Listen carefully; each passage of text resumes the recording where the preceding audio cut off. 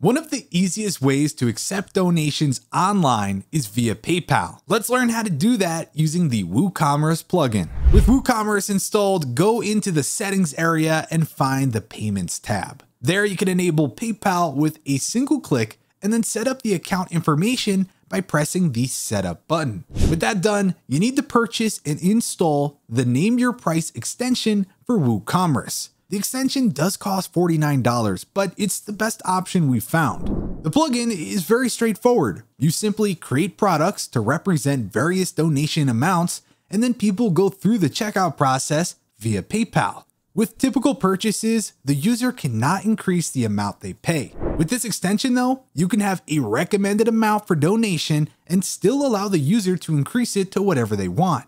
On top of all that, WooCommerce lets you send customizable follow-up emails, which can include the donation benefits via virtual or downloadable products, and so on. To get started, let's create a donations category to keep things organized. Now let's go to products, add new. When it comes to naming them, it's totally up to you. You can create one called any amount or $5, $10, and so on. Next, scroll to the product data meta box. Under the general tab, you will find a new checkbox labeled Name Your Price. Go ahead and enable it. From here, you don't have to enter any further information regarding pricing.